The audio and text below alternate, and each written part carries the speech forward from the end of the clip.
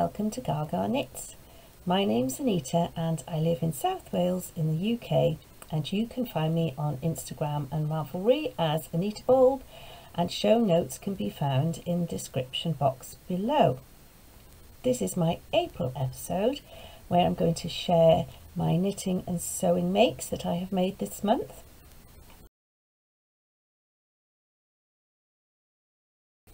I hope you're all keeping well. I have got a new pair of glasses. These are meant to be anti-glare, so hopefully I shouldn't have too much glare in them. And I've also had my first COVID jab this month, so all very exciting. Right, let's get started with knitting because I've got quite a few things today. I've got knitting, sewing and acquisitions. Now my first project is one I finished quite a while ago, but I lent my friend one of the socks. So this is a pair of socks that I have been making to my own sock recipe. I wanted to do my own um, I wanted to knit a pair of socks that fits me perfectly. So I was going to play around for a while until I got the perfect fit, but I seem to have hit the jackpot with these. I am size 5 in the UK and to make these, I cast on 56 stitches on a 2 point, a 2.5 millimeter needle. I used the Addi Sock Wonders, which are the 9 inch circulars, and they have one needle slightly longer than the other because I want to practice knitting that way. Although I have to say my favourite way of knitting socks is DPNs, so I might just go back to that because why struggle on with something when I know I like knitting with DPNs. So anyway, I cast 56 stitches on and I did 15 rows of rib for the cuff and then I knit 32 rows before turning the heel. The heel and the toes are from the vanilla the vanilla latte sock pattern which is a free pattern on Ravelry and then after you do the decreases for the foot. I knit a further 36 rows before doing the cuff and these fit me perfectly. I'm really happy with them. This yarn is Sirdar Heart and Sole Happy Camper and the brown is just something I had in stash. They fit really nicely and they go on nicely. Sometimes the cuff is a little bit tight to get around my heel but these fit perfectly the only thing I would do differently is lengthen the leg a little bit because I find it just a little bit short. So I'm going to add perhaps 10 rows maybe when I make my next pair. So I'm really happy with those. So that's my first finished object, a pair of socks. Now my second finished object, since I spoke to you at the beginning of April, I have managed to knit a whole jumper. I know, amazing and it's cable as well. So I shall show you. I will just arrange it on the hanger. Oh, not sure which is the front and the back. I'm going to go with this way. Here it is. I have knit a little cable jumper for Arthur, my Luna Lapin. Oh, my hanger's falling out. Thank you very much to Jenny for suggesting this pattern. It was a pattern on the Cool Crafting website. It was a couple of pounds, but unfortunately it's no longer available on the site. It was a charity pattern um, that was a guest project by uh, Will Leckey. There it is there, and you get a scarf as well. And all proceeds went to the Trussell Trust, but the pattern was only available until the end of February and I went on the site to have a little look to see if you could get it and it's just it's not showing on there at all. But there are knitting and sewing patterns for Luna Lapins on that cool crafting site if you fancy making anything. So I'm really happy with that and he it fits Arthur nicely as well So they are my two finished projects in knitting and I am working on a jumper for myself, not a little one, a proper one. And this is the Jay sweater and I saw Dawn from Dawn's Days podcast. She cast this on and she was showing the pattern and I thought it was really nice. There's a little bit of colour work at the top and it's really quite easy because you it's only two colours. Um, and here it is here. I've done all the colour work, that's all there is. It's a bit hard to show you because it's bunched up on the needles. And I'm just knitting the main part of the body now. I've already split for the sleeves. Um, and the yarn I am using is over there. I'm just going to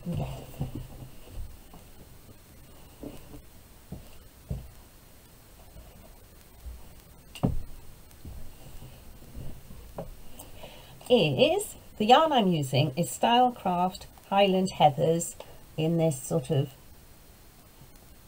navy blue and it's got all these different colours in it. When I'm knitting with it, it reminds me of blue bottles and not that I like blue bottles but I love the colour of them. If you look at them they're all shimmery and they've got purples and blues just like that and the the purple there not really looking the colour. A lot brighter in person than it is on the screen and I will put the the actual colourways on the screen because I can't remember what they are. Rather than just look them up and tell you, I'll put them on the screen. So I'm really enjoying knitting that. I haven't swatched because I needed some needles that I didn't have and I ordered them from Angela from Yarn and Yarns and they are the SmartStix, the Knit Pro, oh, Knit Pro SmartStix and I've not used those before so I didn't swatch because if I didn't get gauge, I would have had to use different needles, which is probably not the best way to look at it. But I thought, oh, I'll be fine. It's just, it's going to be a sort of roomy, chunky jumper.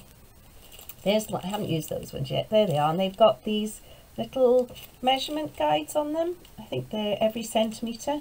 But, I mean, I don't use them for that.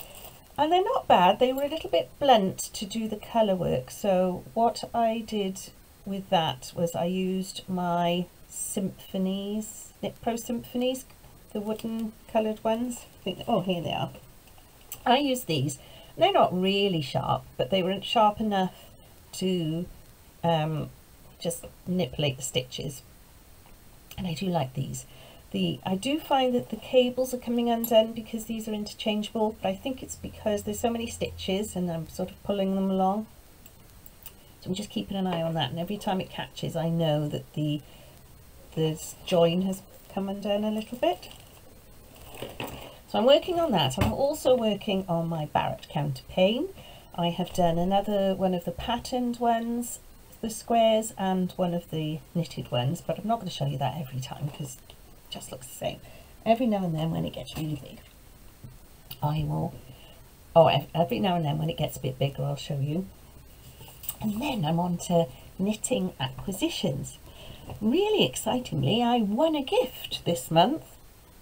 Now, I watched the lovely Kellyanne from Yarn Tales by the Sea, and recently she was doing a giveaway for um, reaching 500 subscribers. So, well done, Kellyanne.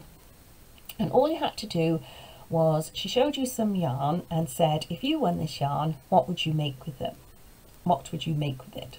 Now I said I'd make the rye mittens because when you see this yarn, it's very bright and it's stripy and I thought I'd make the rye mittens because they're really nice because they're a really nice um, fingerless glove pattern and they go right up your arm and then you can ruche them down so I thought you would make the most of the yarn at the different changing of the colours but I've since changed my mind since I have got this yarn. And here it is. And it's from Twink Knits. Um, and it's 80% merino, 20% nylon, and it's four ply. And that isn't as bright as it is. It is really bright. I will put a picture on. I have put a picture on Instagram, but that is looking quite, unless when when I look at it back it might be a bit different colour but it's it's so so nice and bright and cheerful and lovely And although I could do the mittens, we are coming into the nicer weather and I thought that was a bit of a shame. And I know a lot of people say, oh, I'm going to make socks. And I think, oh, what a waste. It's such nice yarn. But I'm going to make socks. I looked on um, Ravelry for the Twink Knits yarn to see what other people had made with this because I didn't know how big the stripes would be so I just wanted to see what other people had made just to give me some inspiration and inspired I was because I found this slip stitch lines by La Maison de Saba and it's not actually the knitting pattern. It's free on Ravelry. It's oh I'm looking at pointing at myself it's a sort of slip stitch detail that you can put into your socks and there was a pair of socks on Ravelry that had been made using this yarn and that pattern. Don't think it's on here. Oh and they just look lovely and I thought oh, I want to do that. I've seen Tina from Simply in Stitches knitting socks and doing the slip stitches and it's really effective and I would imagine fairly simple. I don't really want anything too complicated when I'm making the socks. So I just think that's going to just look beautiful so I'm really looking forward to that. So thank you so much, Kellyanne. I love the yarn and I love your podcast and I'm hoping you're feeling better and you'll do a podcast soon because she hasn't been very well. Now the other yarn acquisition is all my fault. I was on Instagram and Ellie from Tith and Bryn put up a colourway um, that she has made recently Oh, it's so lovely. I need my notes to tell you about this one. And she only had two skeins. And the reason for that is because Ellie has her own sheep. Now she lives in West Wales with her husband and her two small boys on a small holding and they have their own little flock of sheep and the yarn is from their sheep and she dyes it in her small holding so it's all very local and I just love the idea of the yarn being from her own sheep. And here it is. Oh, it's so lovely. Look at the colours. These are all my colours. I love greens and I love all the natural colours. Oh, it's beautiful. And this yarn is called Flower Meadow and it's four ply, but it's quite a rustic yarn, she says. So I'm hoping it's not going to be too um, scratchy on my skin. Now, this yarn has been made from Barbara, Wolfie, Wanda, the Three Witches, Og, Weatherwax and Garlic, Indiana, Hairy Legs, Lamb Chops and Coal. And it is a blend of Llanwenog, Beulah and Welsh White. I just, I just had to have it. Oh, it's so beautiful. And she sent it out so quickly. I think it arrived. I ordered it on the Wednesday, I think, and it came on the Thursday or maybe the Friday. Oh, it was so quick. And it is beautiful. And then, of course, I couldn't do anything with it because I wanted to show you. Now, as it's so beautiful, I had to find a pattern to go with it because I didn't want to just buy skeins of yarn and then not do anything with them. And I thought it would be nice to make pattern that Ellie had designed because not only does she dye beautiful yarn, she also makes knitting patterns. And the pattern I've chosen is called the Jewels Shawl. Now I had this pattern free from Ellie a long time ago. I was going to do test knit for her and things got her, away with her a bit and she, she didn't have time to sort the test knits out, but she very generously sent the pattern anyway. So I haven't got a picture on there, but I will put a picture on the screen so you can see just how beautiful it is. And I believe you um, cast on a few stitches at the top, then I think you increase, increase and, and do all the increases and knitting with a central spine, and then you put some lace work at the end. And I just think that is going to look beautiful in that shawl because it will really show off the colours. So watch this space shawl coming here soon. So that is all my knitting. Oh, and I forgot to say the um, little jumper I did for Arthur, if you're interested, was done in Marriner double knit and it's the royal blue. The same wool as I used to make Harry a hat, bobble hat, while it was sewing. On to sewing. Right, I have some finished objects in sewing too. You might have noticed I'm wearing, or this top, it's not a top, it's a dress. Here it is. It's the uh, Moneta dress by Colette Patterns. I've made it a couple of times before. I made it using a very cheap Minions fabric, thick t-shirting fabric when I was first um, testing it out, when I was first learning. And it doesn't matter how long I sew for, I still feel like I'm a learner. And then I knitted, oh, knitted, I sewed one for Christmas in a cheap jersey um, Christmassy themed fabric with robins and things on, which was quite nice. And now I've bought this beautiful viscose jersey from Me Sunshine, and the colour is called Harry Blue. So I had to have that, didn't I? And it's really oh, so soft and lovely, and it's a bit of a a strange one, isn't it? If you're learning to sew, you're going to, or you feel you should, buy cheaper fabrics to practice on so that you don't spoil the nice fabrics or expensive fabrics. You don't want to waste them. But sewing on this was so much nicer than sewing on the cheap fabrics. My sewing machine liked it a lot better for a start. Uh, but in saying that, I came across loads of problems making this dress. The Moneta dress is a very simple sewing pattern and it comes with a little booklet if you get the paper version and you've got all the instructions. There's three different options of how to make it and I made the version 3 here which is meant to be the three quarter sleeves but you know they come there. That's fine. I don't mind that. And I made the large which is slightly bigger than my measurements but when I made the medium before the Christmas one it was a bit tight across the old boobage. So I thought it was better to be a little bit loose and I wanted it to be a bit flowy for the summer. And I also lengthened the bodice by um, about an inch and I also did the same on the skirt because I wanted it to be just below my knee so in the summer I don't have to wear tights. And also I wanted it to be a little bit longer in the torso because although I'm short I think I must have a long body because when I've made it before the bodice sort of comes it's not an empire line it's sort of in between an empire line and my natural waist it made me feel a bit childish so I've, I've made it a little bit longer and it now and now it sort of sits sort of, I think, on my natural waist, which I find much better. And of course I put the pockets in this time. I haven't put pockets in before. I did as much as I could on the overlocker.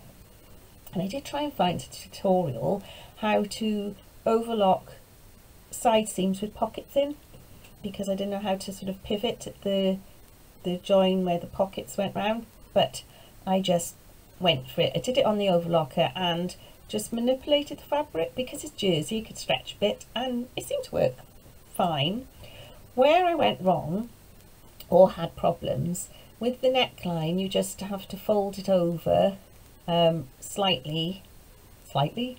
I think you had to fold it over just with a small um, seam hem. Just with a small hem and then stitch it in place. And I stitched it with the fabric facing upwards because some for some reason I thought the stitches would look neater if I did it that way. And I totally missed pick catching the um, material on the material on the inside so all I did was I had a row of stitches around here but it wasn't it hadn't sewn the hem down and I didn't want to unpick it because it's very fine fabric so what I ended up doing was I herringbone stitched the um, hem to the thread on the inside. I'll put some pictures in so sort of explain. And I didn't know if it was going to work, but it did. It seems to work fine. And another problem I had was with the gathering of the skirt. You're supposed to gather it with clear elastic and I didn't have enough clear elastic so I bought this elastic from Prym because it said it was a bit better quality but there's hardly any any stretch in that and I couldn't stretch it enough to um, gather the skirt and I was trying to hold it in the sewing machine either side. Oh my machine didn't like that. I didn't really know what to do. So I ended up gathering the skirt on my overlocker and then I sewed in the elastic once it was gathered to the right um, width. It was meant to be 32 inches all the way around so I gathered it to that and then put this in and just really this was just a stabilizer and the dress is roomy enough and has got enough, enough natural stretching that I can get it over my head comfortably and everything so that's so that's okay. But I was thinking oh this is not going to work but I am really pleased with it now. So I'm glad about that. And I have also made some bags because these were the last few projects I was supposed to do in March and I didn't get round to. So I've made a little bucket bag here um, with the little Labradors and Westies on and then there's just Westies inside and I've used quite thick uh, interfacing to make it sort of more padded.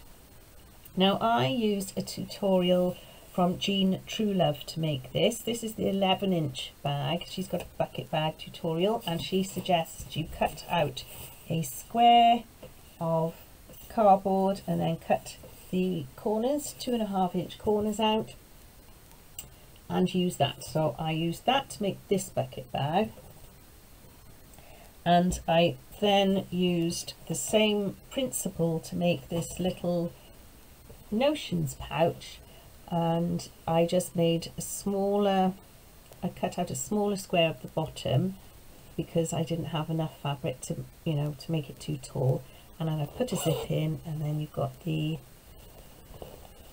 coordinating fabric inside it. These fabrics are gorgeous and they are from Lewis and Irene.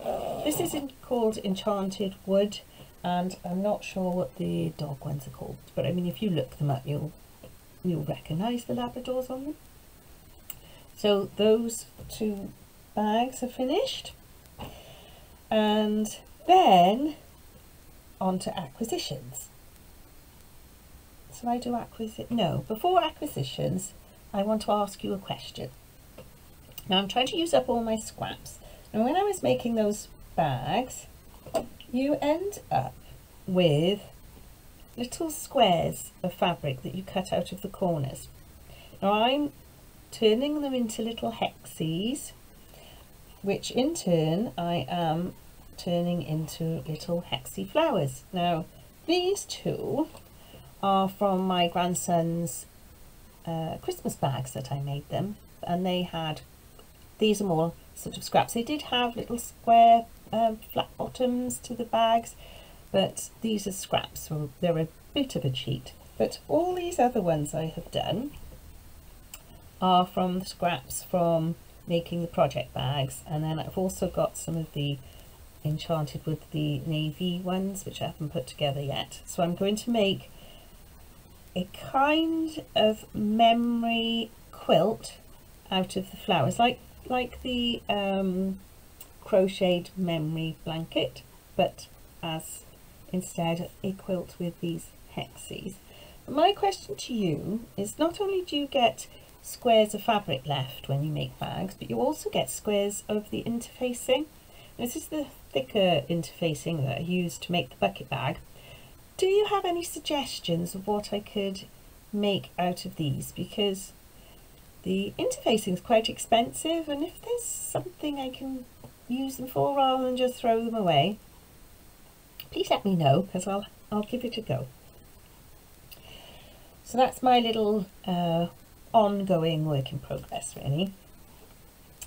Right, acquisitions and plans for those acquisitions. The first one isn't actually an acquisition, it's something I had in stash. But when I showed you my Easter makes, my sister-in-law saw the peg bag that I made for Jodie and she would like one. So I'm going to make her a peg bag next. And I, in my stash, I had this fabric from Cath Kidston. I've made a cushion out of it and some project bags, all sorts of things. So I've still got some left. I've got plenty enough left to make her a peg bag. So I'm going to make that for her because I know she likes all things London. She likes the London buses and the old red telephone boxes and all that sort of thing. So I know she'll she'll like that. So that was the first because it's acquisitions and pro planned projects and that's a planned project. Now the next couple of things I bought when I went out to a shop. I went to Dunelm and I bought a few pieces of, well, a few fabrics and things for projects, planned projects. Now, Josh wants me to make him a laptop bag for his laptop, and he's asked me for, well, ages, but I did look online trying to find fabric, but I'm not the best at choosing it unless I can see it. So in Dunelm, they had this huge roll of upholstery, upholstery cotton, but I mean, it's not really, really thick. It's, um, it's a nice weight, and I'm going to make him a laptop bag out of that. This, I don't know how much is on there, quite a lot, and it was £15, so I had to have that. And I was going to do a contrasting lining for him, but he's not bothered, so I'm just going to put the, the same uh, fabric inside as outside, and then I've got some webbing as well, just to do a strap, although I'm not sure if I will use that. I'll have to see. I haven't found a pattern yet, so if you do know of any good laptop case patterns, please let me know.